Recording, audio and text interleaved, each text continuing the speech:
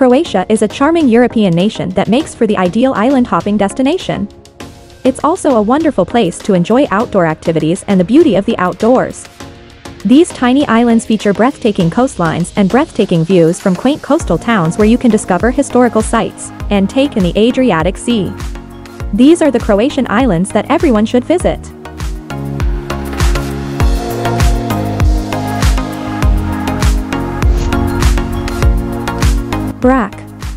Brac, the biggest island in Dalmatia, is well known for being a luxurious retreat with a stunning coastline. You can explore the nation's rich history since it has been inhabited since the Neolithic era by taking a quick ferry ride from Split. Be sure to admire the island's rocky coastline and natural white stone, which was used to build the stunning Diocletian's Palace in Split.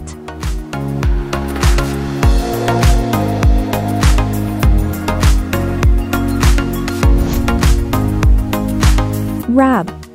13 miles of absolute tranquility along the Adriatic Sea can be found at Rab, which is located off the northern coast of Croatia in Kvarner Bay. It is well known for being the location where King Edward VIII took his new wife, Wallis Simpson, in 1936.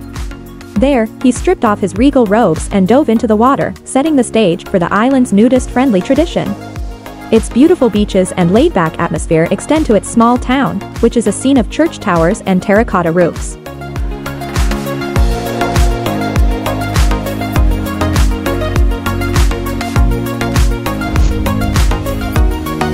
Dugi Otok. Dugi Otok, one of the larger northern Dalmatian islands, is easily accessible by boat and is ideal for hiking, cycling, and diving. You can visit the town of Sali for fresh, flavorful seafood in the neighborhood restaurants after exploring the western part of the island to see its collection of tall cliffs and rocky coastlines. The island's most famous beach, Sakarun, is only 27 miles long, and its southeasterly portion was designated a national park.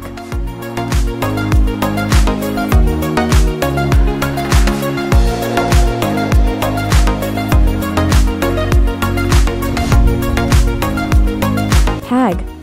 Pag offers visitors the chance to explore pebble and sand beaches as well as a 15th century church of St. George. This island is famous for its moon-like landscape, lace manufacturing, and Pag cheese. Pag is renowned for having a rich cultural heritage, with medieval streets leading to small shops where local women can be seen making lace. Indulge in nightlife in Novalja after taking a stroll through Old Town Pag to see an archaeological site or visiting Zrće Beach to see its picturesque beaches.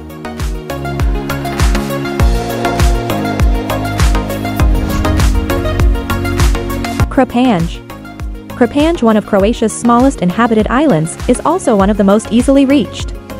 It is only 1,000 feet away from the mainland.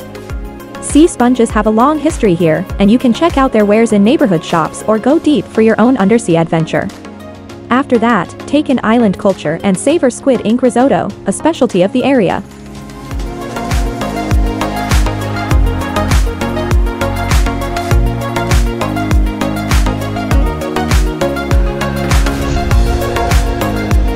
Hvar. Var is the most well-known island in Croatia. The historic Franciscan monastery of Our Lady of Grace and the old town of Hvar are both lovely locations to learn about some of Croatia's past. Observe yachts bobbing on its sun-drenched shores while enjoying a glass of wine and some southern Croatian cuisine at one of the small neighborhood restaurants. One of Croatia's most opulent vacation spots, it attracts celebrities, the wealthy, and those who enjoy luxury.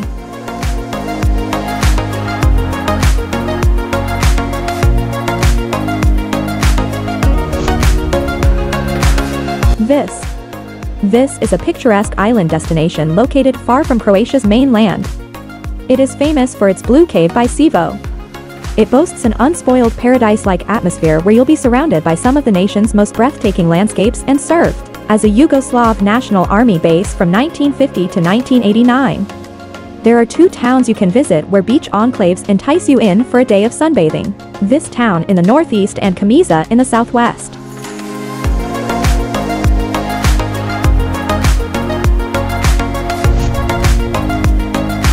Korčula. This island was initially inhabited by Greeks, who gave it the name Corcyra Melaina. Black Korčula due to its heavily wooded landscape. It is now more well known for its white wine, which is made from the Pošip grape and is regarded as Croatia's crispiest and coolest variety. It is the second most populated island in the Adriatic Sea and has a mix of picturesque hamlets and vineyards, as well as quaint fishing villages scattered along the coast. Consider admiring its medieval walls or going to the Marco Polo Gallery and Cathedral in this city known as Little Dubrovnik.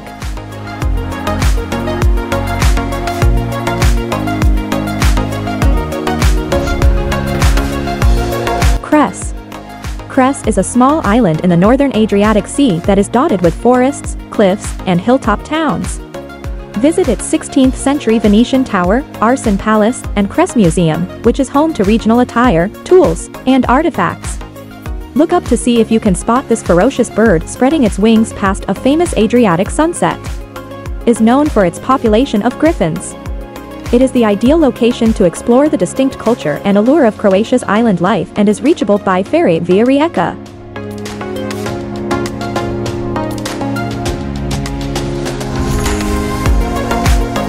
Solta.